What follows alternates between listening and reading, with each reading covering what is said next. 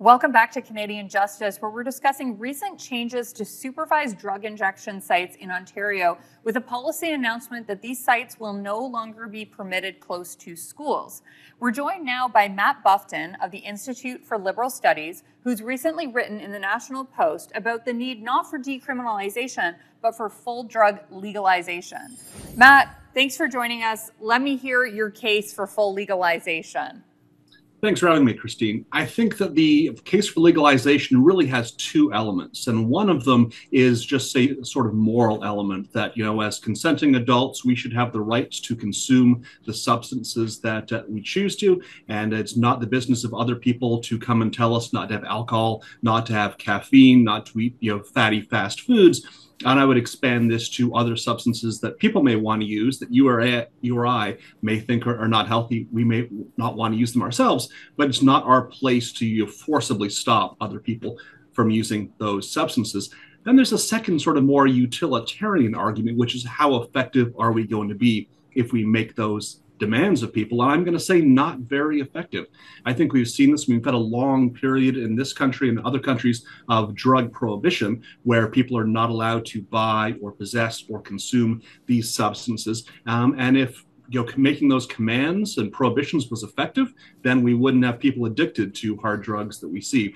We try to make them illegal. It doesn't work. We can't stop people using them, and the illegality actually makes them worse. It is harder to be a addict of, uh, of a hard drug, heroin, cocaine, these things that are illegal, than a legal substance like alcohol. I can use caffeine or tobacco as examples of, uh, of substances that people can have addiction problems with. We don't try to address that by making them completely illegal. We have them within a legal framework. So, one of the things that you've argued is that the social problems that we see around social injection sites, including uh, discarded drug paraphernalia like needles, the concentration of criminal dealers, the concentration of people who are on drugs and are unstable, likely suffering from mental illness, as well as the crime we see concentrating, including that horrific murder that we discussed in the last segment.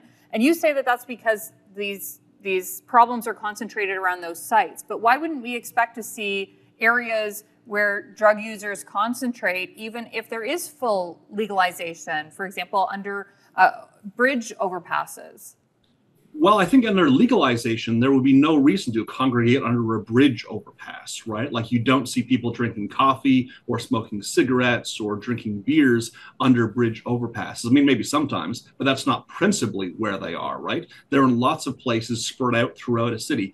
So the analogy I like to make is what happens if we sort of like kind of banned alcohol, but then we said we're going to have like 10 bars in the city of Toronto.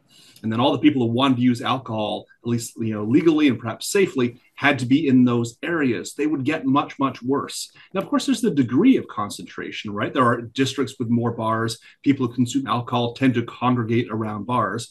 But there are i assume thousands maybe tens of thousands of places serving alcohol in the city of toronto. And so people are more spread out they're more uh, con- more dispersed and less concentrated, and that is going to make the problems lesser. Now, it doesn't mean there's never a problem with a bar, but it does make it a lot better, I think, than if there were only you know 10 or 20 of these places. So you've made the comparison between alcohol and uh, these drugs. And Doug Ford was recently asked about this difference. He was asked about the expansion of alcohol into corner stores and how he reconciles his decision between expanding alcohol sales and restricting supervised drug injection sites. And he rejected that comparison, saying that there just is no comparison between a fentanyl and a Coors Light. Um, so, why do you think that that is a fair comparison? And what do you make of the argument that it's not?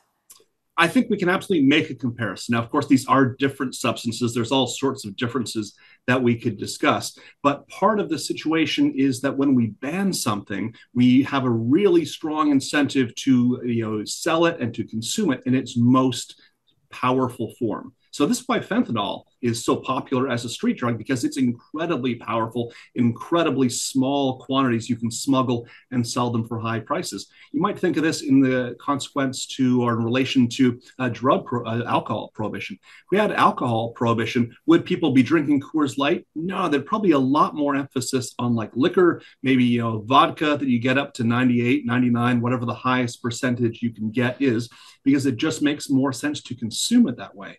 When you consume it that way, you have problems, and of course the illegality is a, its own problem. Even in a system of uh, decriminalization like we have, there is no legal way to produce and sell it. I think that's mm-hmm. a key problem. We've got to go to commercial break, but we'll continue right after this.